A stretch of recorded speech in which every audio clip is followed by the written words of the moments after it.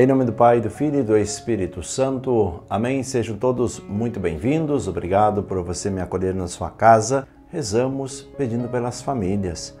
Gostaria que você colocasse também um pouquinho da sua relação familiar, daquilo que você está vivendo, daquilo que você está necessitando, os seus desafios.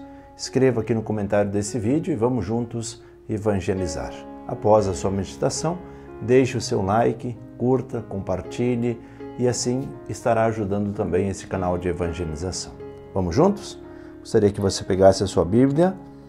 O evangelho de hoje é retirado de João, capítulo 1, versículos 43 até o versículo 51. Diz assim o texto: No dia seguinte, Jesus quis ir para a Galiléia e encontrou Filipe e lhe disse: Siga-me. Filipe era de Betsaida, cidade de André e Pedro. Filipe encontrou Natanael e lhe disse: Encontramos aquele de quem Moisés escreveu na lei e também os profetas. É Jesus, o filho de José. Ele vem de Nazaré. Natanael lhe disse: De Nazaré pode vir algo de bom?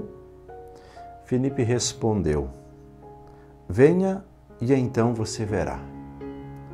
Jesus viu Natanael aproximar-se e disse a respeito dele: Eis aí um israelita verdadeiro, em quem não existe falsidade. Natanael disse: De onde me conheces? Jesus respondeu-lhe dizendo: Antes que Felipe chamasse você, eu o vi quando estava debaixo da figueira. Natanael lhe respondeu: Rabi, tu és o filho de Deus, tu és o rei de Israel. Jesus respondeu-lhe, dizendo: Você está acreditando só porque eu disse que eu vi debaixo da figueira? Você verá coisas maiores que essas.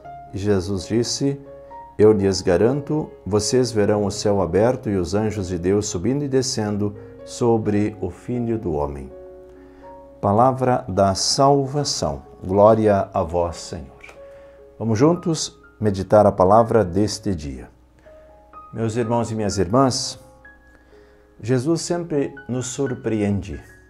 Muitas e muitas vezes nós queremos interpretar aquilo que Jesus nos diz e fazemos associações com a nossa vida e achamos que aquilo já é tudo.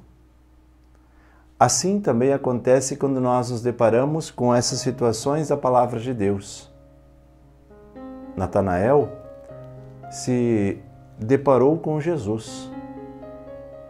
E antes que ele falasse, Jesus já disse para ele, surpreendendo, aí vem o israelita de verdade, onde não há falsidade. E qual é o questionamento de Natanael? De onde me conheces? E Jesus diz: Antes que Felipe te chamasse, eu já te vi debaixo da figueira. E ele diz: Senhor, Rabi, tu és o Filho de Deus, tu és o Rei de Israel. E Jesus disse para ele: Você já ficou surpreso só porque eu disse que eu te vi debaixo da figueira? Você verá muitas coisas. Você verá o céu se abrindo e os anjos do céu subindo e descendo. Veja que interessante, porque muitas vezes nós resumimos a nossa relação com Jesus num gesto, numa atitude, numa palavra. E Jesus vem sempre para acrescentar coisas novas. Eis que faço nova todas as coisas. E aí Jesus vai nos surpreendendo cada vez mais. Às vezes nós nos surpreendemos com o gesto de Jesus em relação à nossa vida, mas Jesus ainda tem muito mais a nos dar.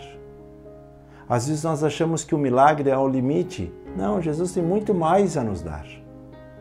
Por isso, mesmo que você alcance a graça que você tanto estava pedindo, saiba, Jesus ainda tem muito mais para te oferecer.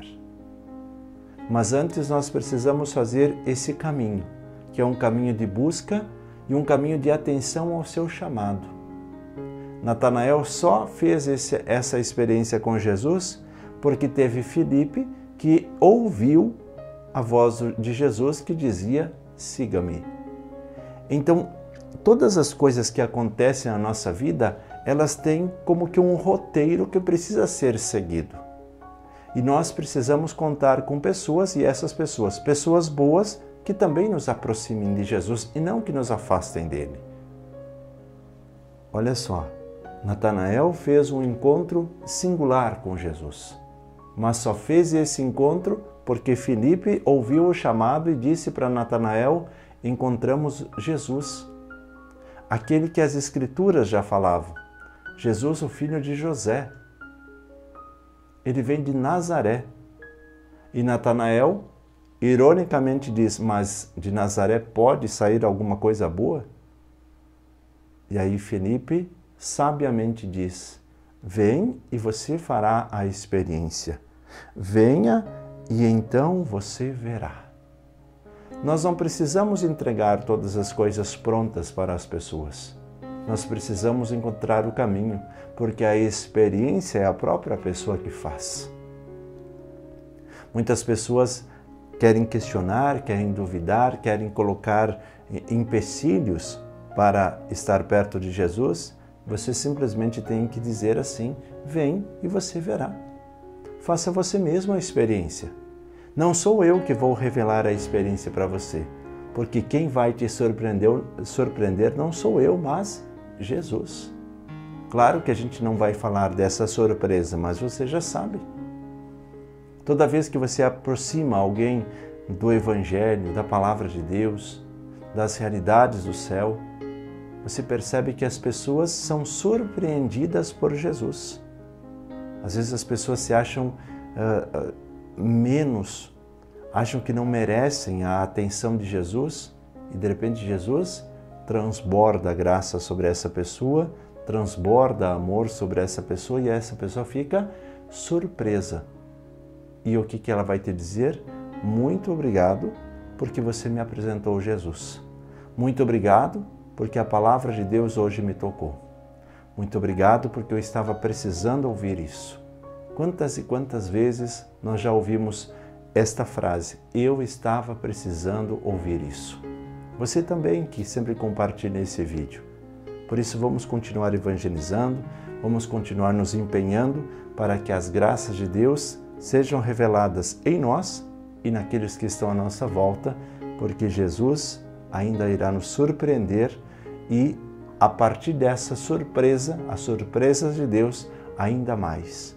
Ele sempre tem algo novo para nos mostrar, dependendo da abertura do nosso coração para esta graça divina.